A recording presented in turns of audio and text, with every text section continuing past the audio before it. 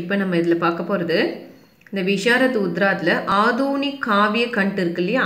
So அதில் அந்த மேக்னலால் சதுர்வேத்தினுடைய இரண்டாவது கவிதையில் வரக்கூடிய இஆர்சி தான் நம்ம இதில் பார்க்க போகிறோம் சமதர்ஷி பகவான். ஸோ அந்த கவிதையில் வரக்கூடிய இஆர்சி சமதர்ஷி பகவான் அப்படின்னா எல்லாருக்கும் சமமான ஒரு கடவுள். அதாவது கடவுள் வந்து எல்லாருக்கும் ஈக்குவலாக இருக்கணும் அப்படின்றத பற்றியான ஒரு இஆர்சி இதில் கொடுத்துருக்காங்க ஸோ அதில் எப்படி கடவுளை பற்றி இந்த மேக்னலால் சதுர்வேதி என்ன சொல்கிறாரு அப்படின்றது தான் அந்த இஆர்சி ஸோ இதில் கியா தூஹி ஹை பதித் அபாக்கும் கா शासन करता है क्या तू है सम्राट लाज तज न्याय दंड धरता है जो तू है तो मेरा माधव तो क्यों कर होवेगा मेरा हरि तो पदितों को उठने की अंगुली देगा அதாவது இதில் என்ன சொல்கிறாங்க அப்படின்னா உங்களுக்கு எது க்ளூ வேர்ட்ஸ் நம்ம பார்த்தோன்னா பதித் அப்படின்னா தாழ்த்தப்பட்டவங்க அதாவது வறுமை வறுமையில் இருக்கவங்க அபாக்கோங் அப்படின்னா என்ன சொல்கிறது அதிர்ஷ்டம் இல்லாதவர்களை சொல்கிறது ஸோ இப்படிப்பட்டவங்களுக்கு கடவுள் என்ன பண்ணுறது இல்லையா ஸோ எந்த ஒரு பாதுகாப்பும் கொடுக்கறது கிடையாது கியா தூஹை சம்ராட் லாஜ் தஜ் நியாய தண்ட தர்தாஹை ஆனால் இவர் யாருக்கு மட்டும்தான் வந்து ஹெல்ப் பண்ணுறாராம் ஸோ காசு இருக்கவங்க அதுக்கப்புறம் தவறு செய்கிறவங்களுக்கு மட்டும்தான் கடவுள் துணையாக இருக்காரு. ஆனால் நியாயம் தர்மம் பார்த்து அவர் என்ன பண்ணுறதில்ல தண்டனை யாருக்கும் கொடுக்கறதில்ல. யா தூஹை தோ மேரா மாதவ் நீ என்னுடைய கடவுள் கிடையாது. ஏன் அப்படின்னா யார் கடவுள்னு சொன்னால் யார் கீழே விழும்போது தாங்கி பிடிக்கிறாங்களோ அவங்க தான் கடவுள். அதுதான் உட்நீக்கி உங்களி. யார் விழும்பொழுது எந்த கைகள் எந்த விரல்கள் அதை தூக்கி விடுதோ அவங்க தான் உண்மையான கடவுள் அப்படின்ற மாதிரி தன்னுடைய பாடலில் வந்து கடவுள் எப்படி கடவுள்ன்றது எப்படிப்பட்டவர் அவர் யா யார் தான் உண்மையான கடவுள் அப்படின்றத மக்களுக்கு தன்னோட கவிதைகள் மூலமாக புரிய வைக்கிறார். ஸோ இதுதான் உங்களுக்கான க்ளூவர்ட்ஸ் பதித்து ஆபாக்கும். நியாய தண்டா ஸோ ஏன்னா இந்த வேர்ட்ஸ் எல்லாமே நம்ம இஆர்சியில் வியாக்கியால் வரப்போகுது. ஸோ ஃபஸ்ட்டு வந்து நம்ம என்ன எழுதணும்? ஆல்ரெடி சொல்லியிருக்கேன். பிரசங்க் எழுதணும் இஆர்சினாலே எஹு பத்தியாங்ஷ் சமதர்ஷி பகவான் நாம கவிதா சே தியாகையாகை. ஸோ இந்த பேராகிராஃப் சமதர்ஷி பகவான் அப்படின்ற கவிதையிலிருந்து எடுக்கப்பட்டிருக்கு.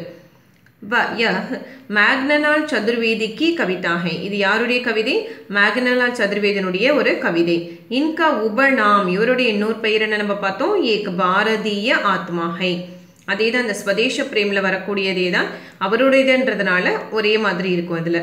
சந்தர்ப் என்ன அப்படின்னா லோக் ஜின்கோ பகவான் மானத்தி ஹை உன்சே கவி அபிரசன்ன ஹை. அதாவது மக்கள் யாரை தன்னுடைய கடவுளாக ஏற்றுக்கொண்டிருக்கிறார்களோ அவங்கள கவிஞர் அவங்கள அவங்க மேலே கவிஞர் வந்து பிரசன்னா சந்தோஷம் இல்லாமல் இருக்காரு. அவங்க மேலே வந்து ஒரு ஹாப்பினஸே இல்லாமல் இருக்காரு. அப்பனே இஸ் பாவ்கோ ஸோ தன்னுடைய இந்த உணர்வை கவி இன் பக்தியோங்கமே வியக்து கர்த்தே ஹே கவிஞர் தன்னுடைய இந்த பேராகிராஃபில் வந்து எக்ஸ்பிளைன் பண்ணுறாராம் அதாவது மக்கள் மேலே திருப்தி இல்லாமல் இருக்கிறாரு அப்படின்னு சொல்கிறாரு வியாக்கியா வியாக்கியான விளக்கம் இல்லையா ஸோ விளக்கம் என்ன கவி பகவான் சே கஹத்தே ஹைகி அதாவது கவிஞர் கடவுள்கிட்ட சொல்கிறாராம் तुम पतित और अभागों का रक्षक कर नहीं हो அதாவது நீ தாழ்த்தப்பட்டவங்களுக்கும் அதிர்ஷ்டம் இல்லாதவங்களுக்கும் ரக்ஷக் நஹி ஹோ நீ ஒரு பாதுகாவலனா இல்லை யதி ஒருவேளை ஐசா ஹோதாத்தோ நீ ஒரு பாதுகாவலனா இருந்திருந்தா வே கஷ்ட போகதே அவங்களுக்கு கஷ்டமே வந்திருக்காதே. தும் சஹி நியாய கர்ணேவாலா ராஜாபி நகிஹோ நீ சஹி நியாய கர்னேவாலா அதாவது சரியான நியாயத்தை செய்யக்கூடிய ராஜாவா நீ இல்லை. ராஜாபி நஹிஹோ ஒரு ராஜாவா நீ இல்லை. என்ன ராஜானா என்னது? நியாயத்தை மட்டும்தான் விரும்புவார். ஆனால் அப்படிப்பட்ட ராஜாவா நீ இல்லை.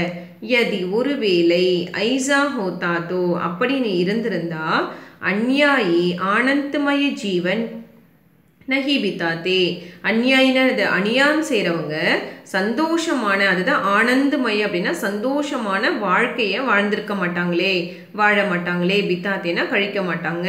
அதாவது ஆனந்தமான வாழ்க்கையை வந்து அவங்க வாழ மாட்டாங்களே அப்படின்னு கேட்குறாராம் தும் லஜ்ஜா கே பீனா நியாய தண்டு கியோங் பக்கடை ஹுயே ஹோ ஆனால் நீ கொஞ்சம் கூட வெட்கமே இல்லாமல் நியாயத்து நியாயம் எது?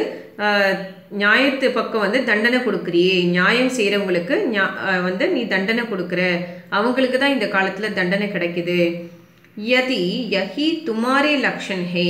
ஒருவேளை இதுதான் உன்னுடைய லட்சணமாக இருந்தா இதுதான் உன்னுடைய இதுதான் நீ செய்கிற செயலாகவே இருந்ததுன்னா தும் மேரா மாதவ் நஹி ஹோ. நீ என்னுடைய கடவுளே இல்லை.